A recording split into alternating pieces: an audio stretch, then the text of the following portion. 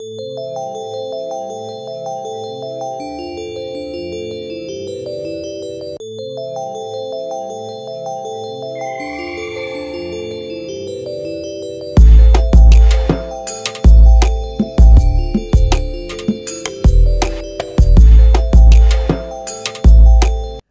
আসসালামু আলাইকুম। আশা করছি সবাই ভালো আছেন। আমিও আলহামদুলিল্লাহ ভালো আছি। আজকের ব্লগে থাকছে সকাল থেকে বিকেল পর্যন্ত আমি কতটা ব্যস্ত ছিলাম সেটাই আপনাদের সাথে আমি শেয়ার করব। তো এখানে একটি কাঁথা ধুয়ে দিয়েছি, নতুন কাঁথা। এটি আমি খুব পছন্দ করে কাপড়টি কিনেছিলাম। আর কাপড় কিনে আমি কিন্তু বানাতে দিতে পারিনি কারণ লকডাউনের কারণে দোকান বন্ধ ছিল, সুতা কিনতে পারিনি। তো আমি যে মেয়েটির কাছে বানাতে দিয়েছি, তো ওদের বাসার ওখানে তো একটা দোকান খুলেছে বলল, তো সুতাটা কিনে ও আমাকে এই কাঁথাটা বানিয়ে দিয়েছে। খুব পছন্দ করে এই কাপড়টা কিনে আমি বানাতে পারিনি, মনটা অনেক খারাপ ছিল। কাঁথাটি আজকেই বানিয়ে দিয়ে গেছে, তো আমি আর সাথে সাথেই সাবান দিয়ে এটা ধুয়ে বারান্দায় মেলে দিলাম। আর যেহেতু গরমের সময়, এখন কিন্তু এসি চালাতেই হয়, তো পাতলা কাঁথা কিন্তু লাগে। তো আমার মেয়ের জন্য এটা আমি কিনেছি। আর মেয়েদের তো সাধারণত লাল, গোলাপি এগুলি কিন্তু ওরা পছন্দ করে। তো আমার কাছে অনেক ভালো লেগেছে। আপনাদের কাছে কেমন লাগছে আমাকে কিন্তু কমেন্ট করে জানাবেন। আর আমরা যেহেতু এখন শাড়ি পরি না, তো শাড়ি দিয়ে কিন্তু আর এখন কাঁথা বানানো হয় না। আর নতুন কাপড় দিয়ে যদি আমরা গজ কাপড় কিনে যদি আমরা নকশি কাঁথা করি কিংবা যেহেতু আমি প্রিন্টের করেছি, এখানে কিন্তু নকশি কাঁথা ভালো লাগবে না। এর জন্য আমি নকশি কাঁথা করিনি। এর আগে ওকে দিয়ে আরেকটা নকশি কাঁথা বানিয়েছিলাম। তো এরপরে আমি কয়েকটা বানাতে দেব ভাবছি। আর এখন আমি মুরগি বের করে নিয়েছি, এটা দেশি মোরগ আর কি, মুরগি না। এখন রান্না করব, দুপুরবেলাও খাব, আর বিকেলবেলাও এই তরকারি দিয়ে, নান রুটি দিয়ে বিকেলবেলায় নাস্তা করব। ওয়াশিং মেশিনে কিছু কাপড় দিয়েছিলাম, এগুলো আমি এখন মেলে দেব।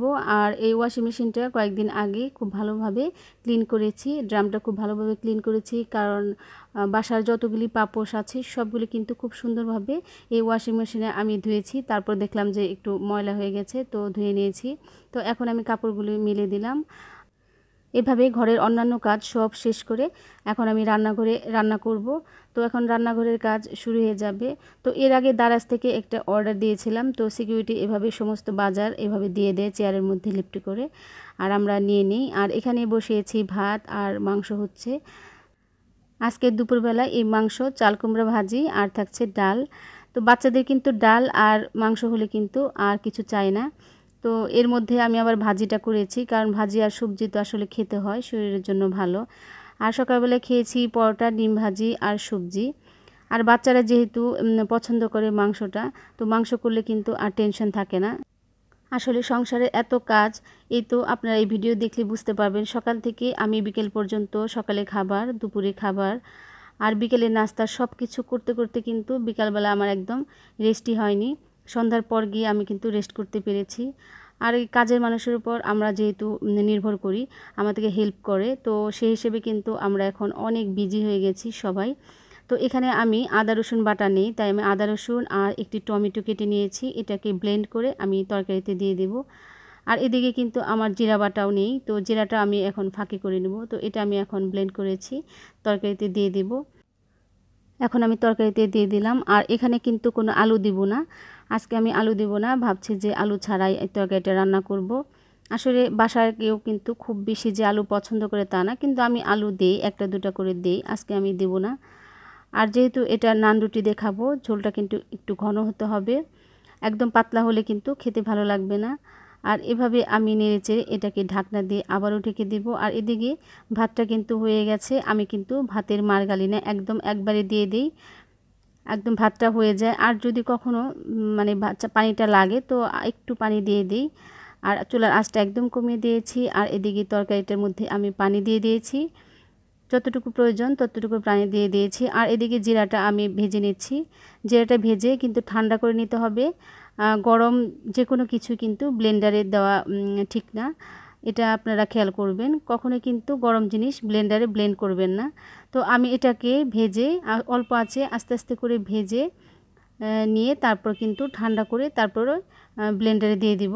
তো স্টিলের একটা প্লেট নিয়েছি। আর গরম জিনিস তো স্টিলের প্লেট কিংবা কাচের প্লেটে রাখতে হয়।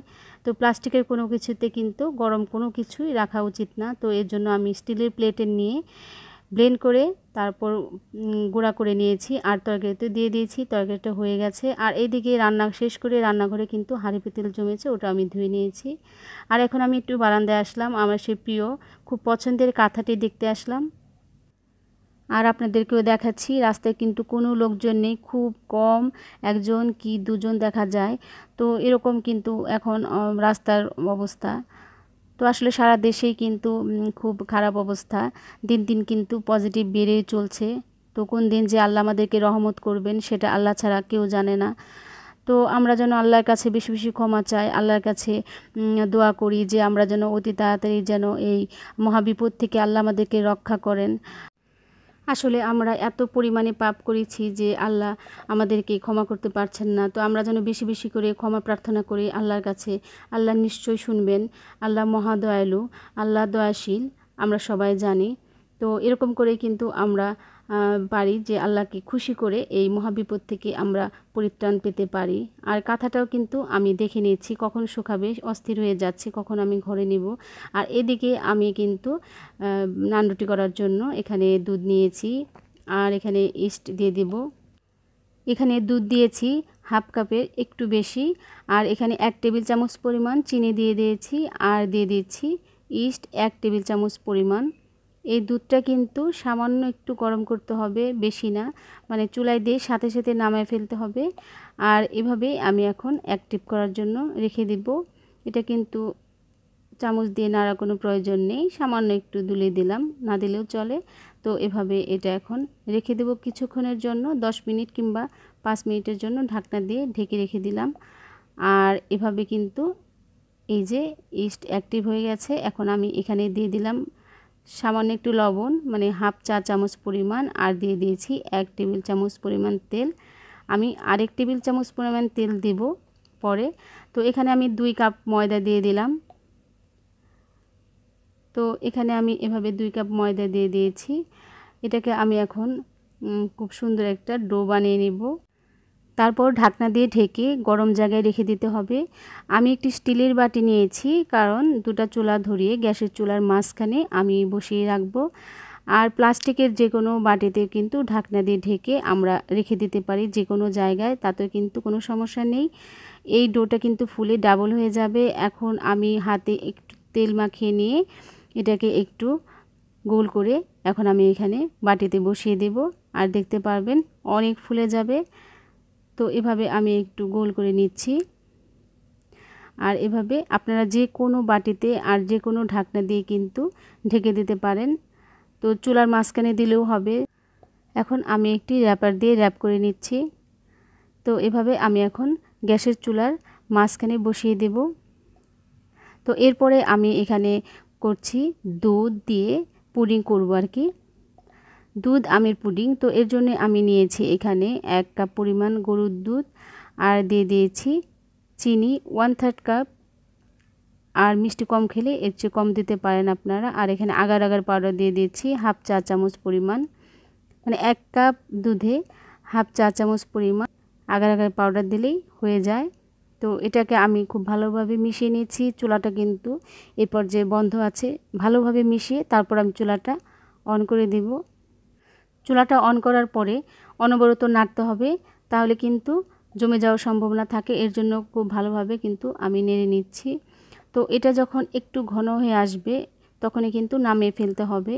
আর আমি যে পাত্রে আমি এটা বসাবো সেই পাত্রটা কিন্তু আমি রেডি করে নিয়েছি। আর আগে থেকে রেডি করে নিতে হয় এটা কিন্তু নামানোর সাথে সাথে ঠান্ডা হতে থাকে আর ঠান্ডা হলে কিন্তু এটা জমে যায়। তো দেখতে পাচ্ছেন এটা কিন্তু কিছুটা ঘন হয়ে আসছে। এ পর্যায়ে কিন্তু হয়ে গেছে। এখন আমাকে নামিয়ে ফেলতে হবে আর চুলাটাও আমি বন্ধ করে দেব।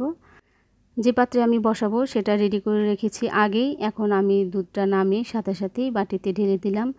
আর ঢালার সাথে সাথে কিন্তু এটা ঠান্ডা হয়ে যায়। ঠান্ডা হলে কিন্তু জমে যায়। আর ফ্রিজে রাখার কোনো প্রয়োজন নেই। ফ্যানের বাতাসে এটা কিন্তু ঠান্ডা হয়ে যাবে, তখন কিন্তু জমে যাবে। এরপর আমি আমটা, আমের পিউরিটা তৈরি করে নিয়ে এটার উপর দিয়ে দিব। তো এখানে নিয়েছি এক কাপ পরিমাণ আমের পিউরি। এটা কিন্তু অনেক ঘন। তো এখানে আমি ঠিক একইভাবে ওয়ান থার্ড কাপ চিনি দিয়ে দিব। আর দিয়ে দিব হাফ চা চামচ পরিমাণ আগার আগার পাউডার আর চিনিটা এখানে কিন্তু আমি একটু বেশি দিয়েছি। আপনারা কিন্তু ওয়ান ফোর্থ কাপ দিয়ে নিতে পারেন। আমটা যেহেতু অনেক মিষ্টি, আর আম কিন্তু টক নেওয়া যাবে না। আমটা কিন্তু মিষ্টি আমি নিতে হবে।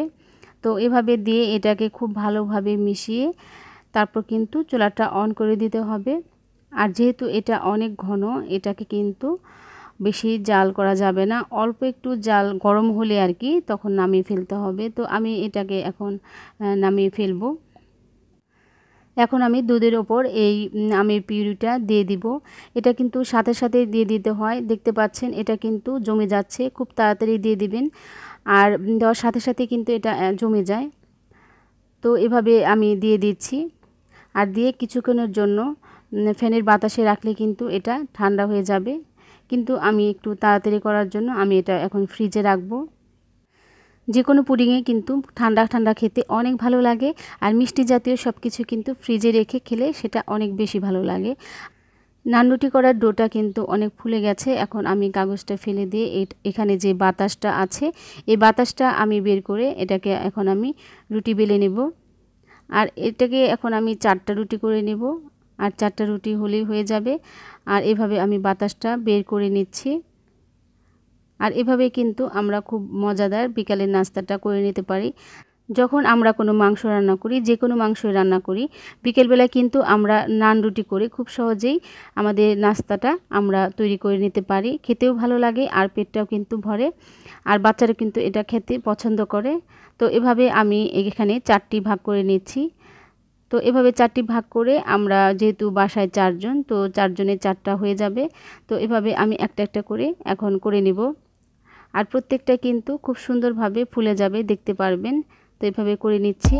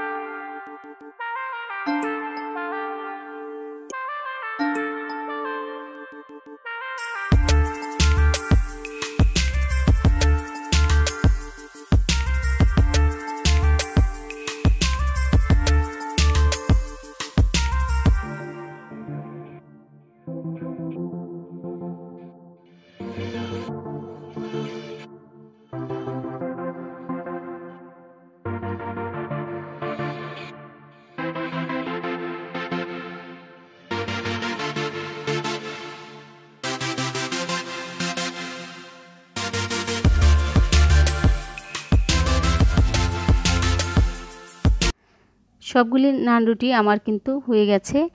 ঠিক এরকম হয়েছে। খেতে কিন্তু অনেক ভালো হয়েছিল আর ইচ্ছা করলে কিন্তু আমরা এখন বাটার কিংবা ঘি দিয়ে উপরে ব্রাশ করে নিতে পারি। আর এদিকে আমি কিন্তু আমার যে ডেজার্টটা বানিয়েছি, আমদুদের ডেজার্ট, তো সেটা আমি বের করে নিয়েছি। এটা এখন আমি একটা প্লেটে রেখে আপনাদেরকে দেখাচ্ছি কতটা সুন্দর হয়েছে। দেখতে কিন্তু অসাধারণ হয়েছে আর খেতেও কিন্তু অনেক মজার আমার কাছে। দেখতে এবং খেতে খুবই ভালো হয়েছে। তো আপনারা দেখতে পাচ্ছেন, তো দেখতে পাচ্ছেন কতটা সুন্দর হয়েছে। আপনারা কিন্তু করে খাবেন আর আমাকে জানাবেন আপনাদেরটাও কেমন হয়েছে। আর যেহেতু এখন আমের সিজন তো আম দিয়ে কিন্তু আমরা নানা রকমের কোনো ডেজার্ট যে কোনো খাবার আমরা করে নিতে পারি। তো কেটে দেখাচ্ছে আপনাদেরকে, দেখতে পাচ্ছেন। মাঝখানটাও কত সুন্দর হয়েছে। আপনারা যে কোনো মানে বাটিতে যে কোনো কাপে এভাবে কিন্তু করে নিতে পারেন। আর আমি কিন্তু দুধের পরিমাণটা একটু বেশি দিয়েছি। এটা কিন্তু দুই লেয়ার তিন লেয়ার যে কোনোভাবে কিন্তু করা যায়। তো এভাবে আমি গরুর দুধ দিয়ে করেছি। আপনারা নারকেলের দুধ দিয়েও করতে পারেন, আবার শুধু আম দিয়েও করতে পারেন। তাতে কিন্তু খেতে কোনো অংশে কম হয় না। সবটাই কিন্তু অনেক ভালো লাগে। আর ঠান্ডা ঠান্ডা খেতে হবে। এটা ঠান্ডা খেলে কিন্তু এর টেস্ট দ্বিগুণ হয়ে যায়। তো আপনি যেন করে ঠান্ডা না করে খেলে কিন্তু অতটা ভালো লাগবে না। ঠান্ডা করে খাওয়াটাই কিন্তু এই পুডিংয়ের মজাটা আর অনেক বেড়ে যায়। তো এভাবে বিকালে নাস্তাটা আমি করে নিয়েছি। এখানে মাংস নান রুটি আর মিষ্টি আর ঝাল দুটাই কিন্তু আজকের বিকালের নাস্তায় থাকছে। তো এভাবে কিন্তু আমরা খুব সহজেই ঘরে থাকা সমস্ত উপকরণ দিয়ে আমরা নাস্তা তৈরি করে নিতে পারি। আর যেহেতু এখন আমের সিজন আম পাওয়া যায়, আর যেহেতু দুপুরবেলায় তরকারি রান্না করেছি, শুধু নান রুটিটা করেছি, তাতে কিন্তু খুব মজাদার একটা নাস্তা হয়ে গেল। আপনারা কিন্তু করে খাবেন। তো এখানেই বিদায় নিয়ে নিচ্ছি। আপনারা ভালো থাকেন, সুস্থ থাকেন। আল্লাহ হাফেজ।